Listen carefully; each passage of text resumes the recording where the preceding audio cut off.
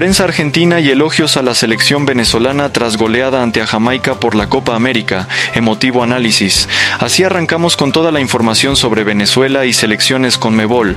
Vamos con toda la info calentita. Puntaje perfecto. Venezuela goleó 3-0 a Jamaica y jugará los cuartos de final de Copa América ante Canadá. Eduard Bello, Salomón Rondón y Eric Ramírez anotaron los goles de la victoria de Venezuela sobre Jamaica. En cuartos de final enfrentará a Canadá, que clasificó segundo en llave de Perú. Nada es casualidad en el fútbol. Venezuela, con un fútbol tildado, venció 3-0 a Jamaica y clasificó a los cuartos de final de la Copa América 2024 con puntaje perfecto. En dicha instancia enfrentará a Canadá, que quedó segundo en el grupo A. Los goles del partido lo hicieron Eduard Bello, Salomón Rondón y Eric Ramírez. Machís acudió a la defensa rival con su cambio de ritmo y pudo adelantar a la Vinotinto al borde del descanso con un centro colgado desde la banda izquierda que estuvo a punto de sorprender al meta, protagonista con una intervención de mérito para sacar el balón de la escuadra. Pero solo fue cuestión de esperar para Venezuela. A los cuatro minutos de la reanudación, John Aramburu colgó un perfecto centro desde la banda izquierda que Bello aprovechó para liberarse de la marca de Ethan Pinnock y cabecear para el 1-0. Se liberó de la tensión la Vinotinto y siete minutos después llegó el golpe en la mesa de Salomón Rondón que fulminó al portero tras recibir un buen pase al hueco de Yangel Herrera. El gladiador celebró su segundo gol en esta Copa América y dejó tocada a Jamaica.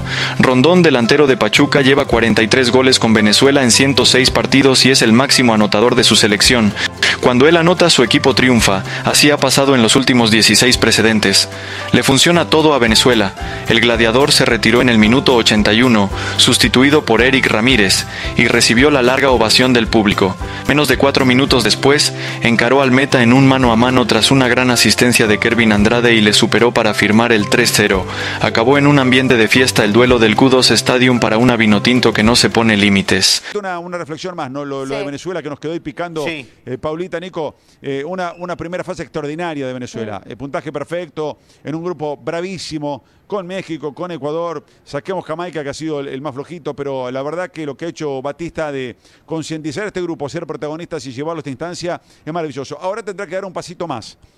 Porque si el cruce hubiera sido Argentina, decimos, bueno, es un cruce bravo, difícil, que te- yo creo que frente a Canadá deberá animarse a soñar un poquitito más el conjunto vino tinto, eh, porque Canadá te permite ilusionarte un poco más. Esto no significa que el partido esté ganado, esto no significa que Canadá es peor que Venezuela, no, estoy hablando que te permite jugar contra un rival que te, te va a hacer una, este, un, encuentro que puede ser ganable, como te decía. Yo no, no me gusta, us- cuido mucho las palabras para no dar todo por sentado, por ganado, pero es un rival al que le podés ganar. Si hubiera sido Argentina, ya es otro el porcentaje de posibilidades en la previa del partido, por supuesto, eh, aunque después hay que jugarlo. Pero siendo Canadá, puede dar un pasito más Venezuela para soñar con las semifinales de, de esta Copa que está verdaderamente muy buena y hoy otra vez, ¿no? Una buena actuación de Bello, gol de Rondón, la verdad que una jornada eh, para el conjunto de, de Batista extraordinario y, y para los venezolanos, que el otro día, curiosamente, cuando Sí. les preguntaban, ¿no? Si elegían la Copa América, seguir adelante o llegar al Mundial, todos, todos dijeron el Mundial. Claro. Ninguno dijo la Copa América. O sea, esto me parece que, es muy significativo también, ¿no? Eh, estás a tres pasitos de ser campeón de América, soñando y, y- y creer esa utopía que es difícil, pero que hoy lo tenés como algo palpable a partir de las victorias que tenés. Pero la gran obsesión de Venezuela en su historia Claro. es el Campeonato Mundial de Fútbol, es el Mundial. Y Venezuela tiene todo para estar en el Mundial. Yo creo que esto tiene que ser el, el- el salto y, el punto de inflexión que lo catapulte definitivamente para ese sueño de ser mundialista en el Mundial dentro de dos años en, en este mismo país. Así que yo creo que, que no están errados los futbolistas venezolanos cuando dicen eso. Y, y no es eh, eh, tirar la Copa América, porque no la van a tirar, van a luchar. Pero en un mano a mano, el Mundial es lo máximo y ellos lo saben perfectamente. Sí, para muchos no hay dudas que la Conmebol Copa América también es un poco la, la plataforma, ¿no? También para prepararse de mejor manera para el Mundial. Claro. Pablo, eh, bueno, ha sido un placer tenerte acá de nuevo con nosotros en 10 por Noticias y nos vamos a estar reencontrando en cualquier momento. Nos reencontramos, que tengan una buena jornada. Ya ni sé si es sábado o domingo, estoy medio perdido. Nos reencontramos seguramente con, con- con mucho más este, este jueves. Estaremos eh, ya con la definición de los cuartos de final a partir del jueves. Y el martes tendremos, por supuesto, aquí por 10 por estaremos con, con Juan Pablo para hacer la presentación de Colombia en Brasil. Y un partido que es decisivo, Colombia-Brasil, porque eh, Colombia si no le gana a Brasil o si no empata, eh, va a estar eh, obligado a cruzarse con Uruguay. Eh, y creo que ahí está el, el gran significado de ese partido tan importante del próximo martes. Les mando un beso grande, que tengan una muy buena vida. ¿Cómo les va? ¿Cómo andan? Buenas noches, ¿cómo anda todo? Bueno, bien, bien, ya entusiasmados con ese partidazo. Digo, Ecuador uno tal Sí, vez le cuesta partidazo. encontrar virtudes por lo hecho en la Copa hasta el momento, pero me sobran las que podría destacar el equipo de Sánchez Vaz y me quedo con la previa y las eliminatorias. Entonces es un rival de sumo cuidado para Argentina y es un conjunto muy interesante. Bueno, cuando a Messi lo consultaron en la previa de la Conmebol Copa América por los candidatos, eh, nombró Ecuador. Dijo que era un equipo que Sí. merecía todo el respeto de- de- de- de- del, del ambiente futbolístico. Y yo creo que es un rival durísimo para Argentina, verdaderamente muy duro, independientemente de lo que ha sido la primera fase. Las primeras fases de los torneos eh, hay que pasarlas. Después, eh, el cómo, la manera, la forma, hay, hay tiempo para corregirlas. Siempre con, con buenos resultados, hay que tratar de revertir la situación. Pudo sobreponerse Ecuador a la ausencia de Ener Valencia en el segundo partido, ya lo han contado Dani como, como, eh, como Roberto. eh, y la verdad que lo, valioso es haber llegado a este partido eh, y haber sacado un empate verdaderamente merecido. Yo creo que hasta incluso puede haber ganado Ecuador el partido hoy frente al conjunto mexicano, que hemos visto la peor versión de México en mucho tiempo. Yo, así, yo no recuerdo una versión de un seleccionado mexicano tan poco competitivo que tenga tan poco corazón, tan poca entrega. La verdad que hace mucho tiempo no veo un, equipo eh, que, no, que no tenga eso. Eh, eh, habrá que trabajar mucho en anímico, evidentemente. Hay muchos talentos jóvenes también dentro del plantel, pero hoy dio una imagen muy pálida. Lo que ha sido la Copa América para, para México fue absolutamente desolador y una enorme desilusión, porque esperamos siempre de México que sea por lo menos protagonista, que esté en cuartos como mínimo, como para comenzar a hablar. Bueno, aquí se quedó afuera directamente en primera fase, pero va a ser un duelo muy duro, reitero, de Argentina con Ecuador. Yo creo que es un rival eh, durísimo. Argentina, aún jugando bien con Ecuador, el amistoso previo eh, apenas pudo derrotarlo por, por la mínima diferencia eh, y pinta para un partido muy apretado, con la particularidad que tendremos 90 minutos y penales. Es decir, Claro. se desprende esa situación que si vos no encontrás la vuelta rápidamente, comienza a, a- a- a- a- este, a complicarse el panorama sobre todo para Argentina, que entiendo tiene la mayor responsabilidad en este duelo. Ecuador puede especular un poco más con el desarrollo del partido, con el paso de los minutos, y seguramente intenta- intentará ganarlo, pero Argentina tiene el peso de ser el campeón eh, y, y tratar de ir en busca de la victoria en los 90 minutos. Pero bueno, veremos. Y por otro lado, se ha confirmado el Venezuela frente a Canadá, Sí. Venezuela con puntaje perfecto. ¿Qué tal? ¿Qué me cuentan? ¿Quién lo hubiera dicho? En la previa de esta Copa América, puntaje perfecto para el equipo del Boche Batista que enfrentaba a Canadá, un rival eh, que para mí es un rival ganable para Venezuela. Eh, ganable para Venezuela, no fácil, ganable, que es distinto. Son cosas distintas, ¿no? Sí, Pablo, te quiero preguntar qué va a ser más cómodo eh, para Argentina, si enfrentar a Ecuador o acaso haberlo hecho con México. Pero no me lo respondas todavía porque antes quiero despedir a la cabina. Los vamos a liberar a Dani y a Roberto. No sé si les quedó algo más por allí que quieran compartir con nosotros, si no, ya los liberamos. Bueno, Paula, Nico, bueno, nosotros entonces acá seguiremos sacando un poquito más en limpio y yo creo que para poder pensar y hablar de lo que faltó durante esta fase de grupos de la Copa América, lo podemos pensar mañana. Porque hay una frase de cabecera que yo tengo que es dejar para mañana los problemas de mañana. Mañana pensamos en Argentina y lo que vaya a pasar. Por ahora estamos en los cuartos de final y era algo que necesitaba este grupo. Era algo que necesitaba este grupo, abogado. Muy bien.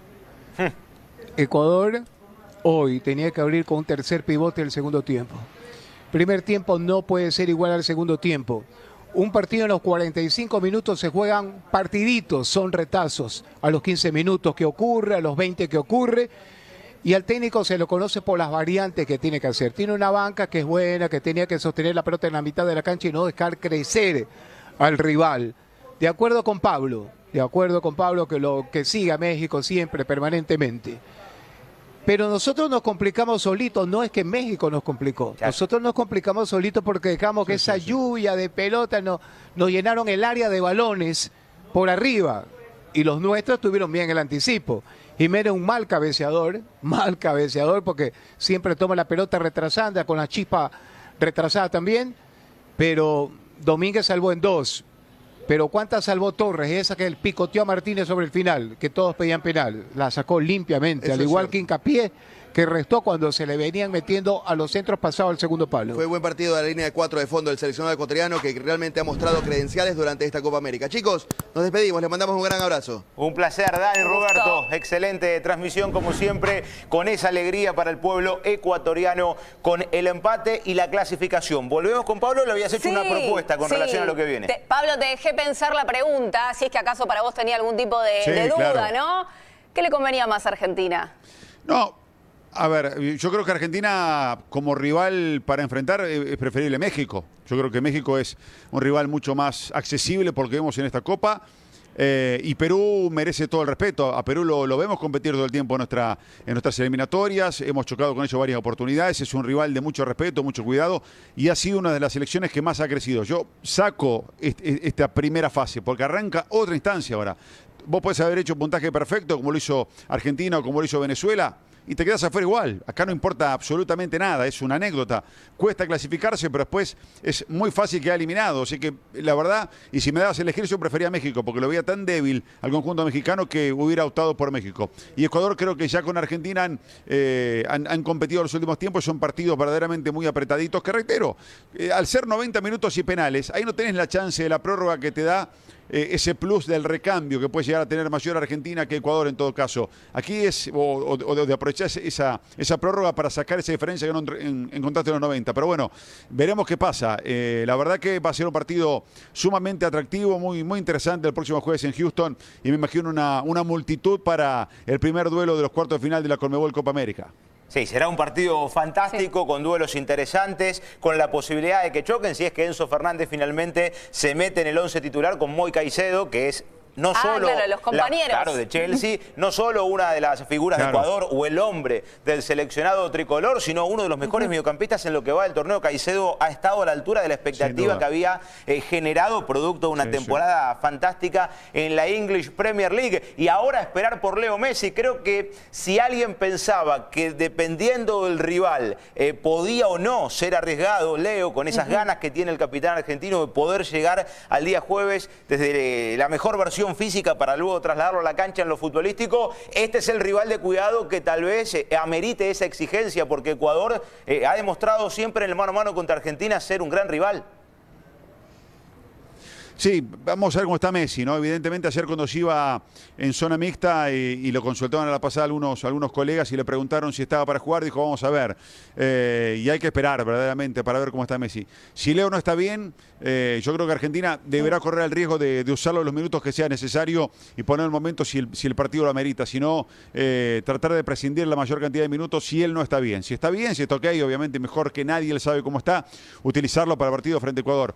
No puede regalar nada hay que poner a los que están mejor eh, y no puede tampoco regalar nada pensando también un poco en el futuro en el caso de Messi. Si ponerlo a Messi hoy significa perderlo para el resto de la Copa en el caso que puedas pasar, habría que ser un poco más cuidadoso y ver en qué momento el partido. Quizás no el partido entero, quizás este, ver si, si está por un par de minutos, pero bueno, él lo sabe, el técnico lo sabe y la gestión de los minutos y, y, de su presencia lo van a eh, maximizar seguramente con el correr de los días y ver qué es lo mejor para el equipo y para el conjunto argentino. Pero yo reitero, para mí es un rival de muchísimo cuidado, mucho respeto el seleccionado ecuatoriano para esta, eh, este cruce de cuarto de final. Y, me permite. Bueno, mis cracks futboleros, así terminamos con toda la info deportiva del día. Gracias por vernos. Esperamos su compañía en un siguiente contenido. Gracias.